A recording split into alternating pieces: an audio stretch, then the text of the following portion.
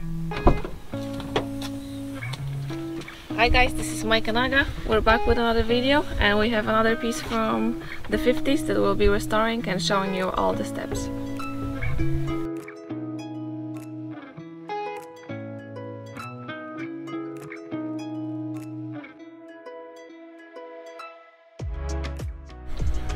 Okay guys, let's get to it. So if you see a previous video, you know we start with assessing the damage on the whole piece, kind of working out uh, what needs to be done and planning how we want to get it done all together.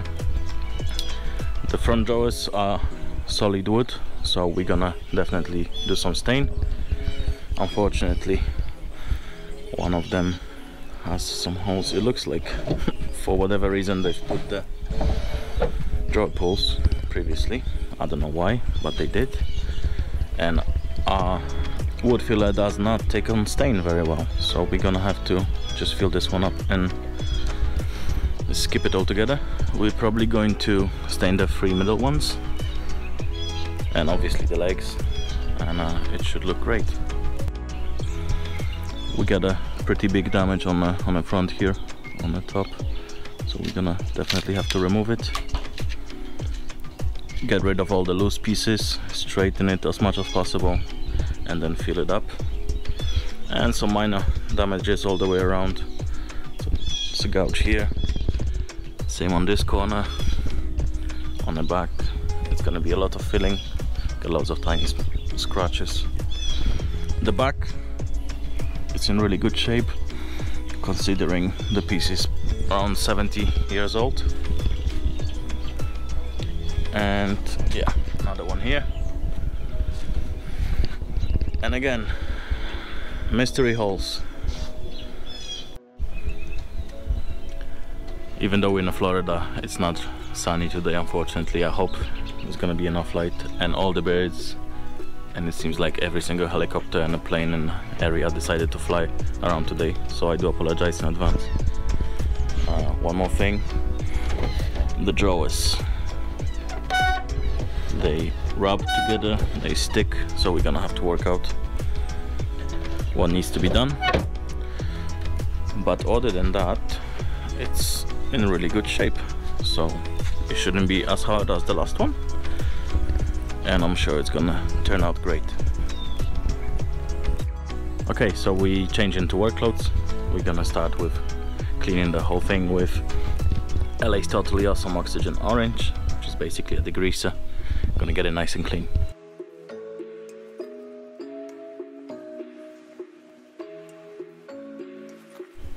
With the piece clean we can start filling and patching up all the holes. Aga is going to use DAP's plastic wood which if you've seen the previous video is okay but they claim it's what does it say? There it is. Sustainable? Not really we tried many times and it doesn't work but it works great for small holes like this or to patch up holes from the hardware. Now this one is gonna be a bit of a different story. I'm gonna have to remove all the loose pieces to make sure there's something uh, that's gonna hold my filler which is gonna be Bondo and the reason I'm using Bondo is it is much stronger than plastic wood and since this is the front of the piece there's a big chance somebody's gonna bump it or lean on it and plastic wood might just crack and fall off. This one is probably gonna be stronger than the original piece of wood or particle board I should say. Okay, so we're gonna get to it.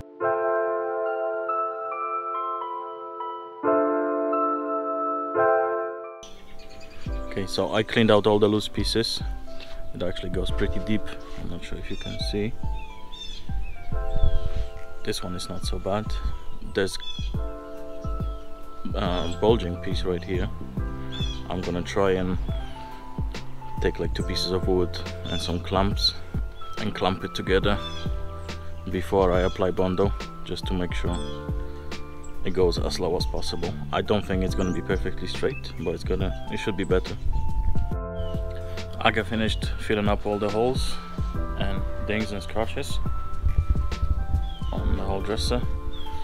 The first layer of Bondo is dry so I'm gonna have I have to add another layer probably actually might need two more but then once it's filled up I'm gonna remove those and then we can sand it back into shape I think the bulge is gone it looks pretty straight we're gonna see if it holds when I take the clamps off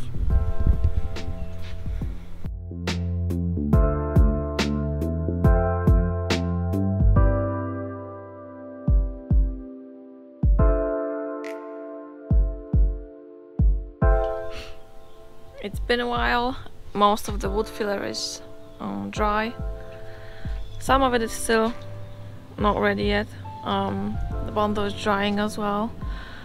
Mike is gonna do some editing and um, I'm just about to um, do some sanding with our Hyper Tough um, $15 sander from Walmart and 220 and 60 grit papers.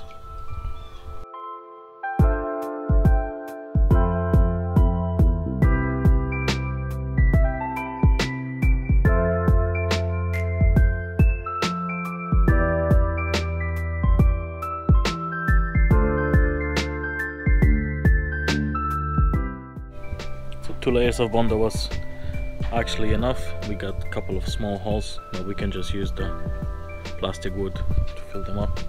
That's not a problem. Came out really nice. The bulge is gone. So I'm really happy about it.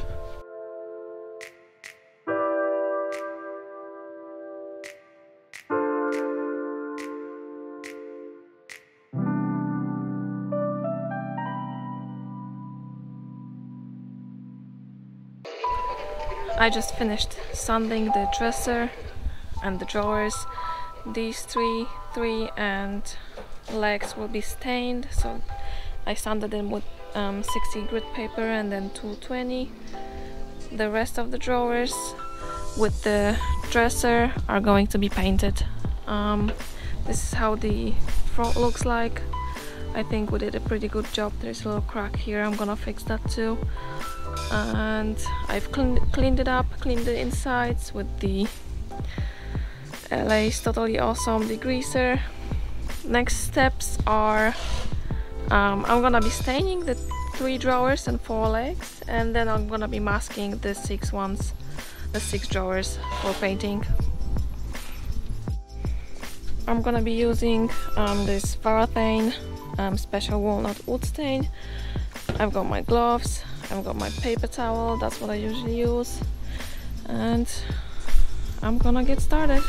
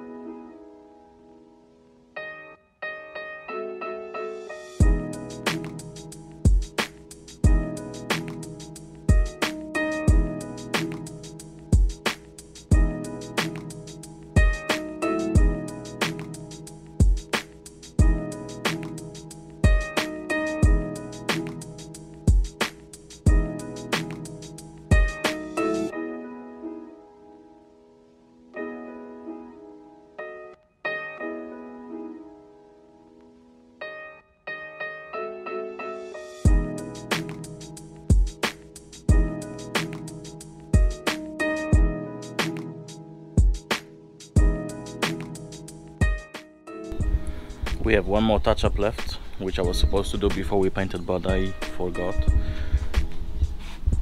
Uh, the bottom drawer on a first glance it looks okay but when you when we start opening them it rubs tiny bit over here and there's a bigger gap over here. And what I've seen so far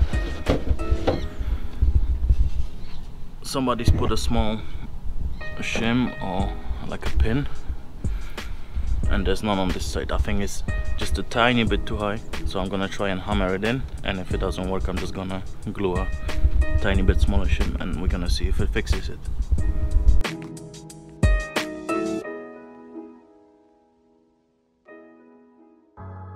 Simply removed it and it looks really straight now so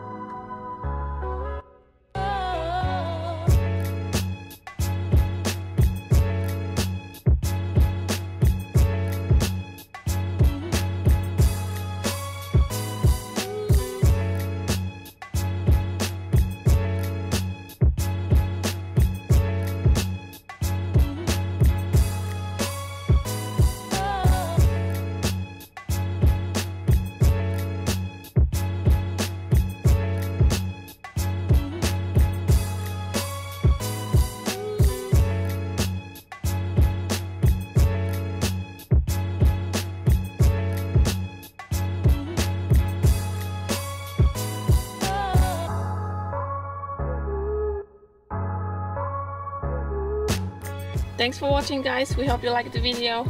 If you did, please consider subscribing, liking and leaving a comment down below. So let's talk money on this one. We picked it up on Facebook Marketplace for $60, which was a little bit more than we were hoping to pay for it. Um, the cost of materials was around $20 and it took us around 5 hours to finish it. We are going to post it online for $450 and we're gonna see how it goes. We're gonna update the description down below so if you're interested you can come back and, and see if it's sold. Let us know in the comments if you like how it turned out and we'll see you in the next video. Bye! Bye!